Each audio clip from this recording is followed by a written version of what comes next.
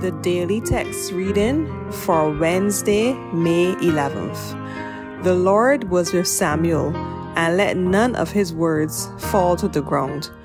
1 Samuel chapter 3, verse 19. God has spoken by his prophets, spoken his unchanging word, each from age to age proclaiming, God the one, the righteous Lord.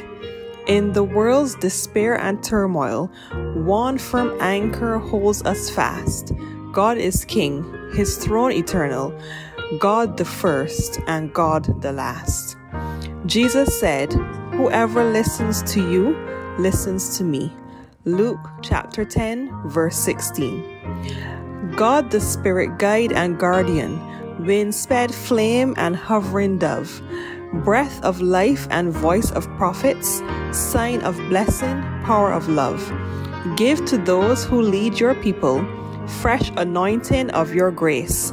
Send them forth as bold apostles to your church in every place.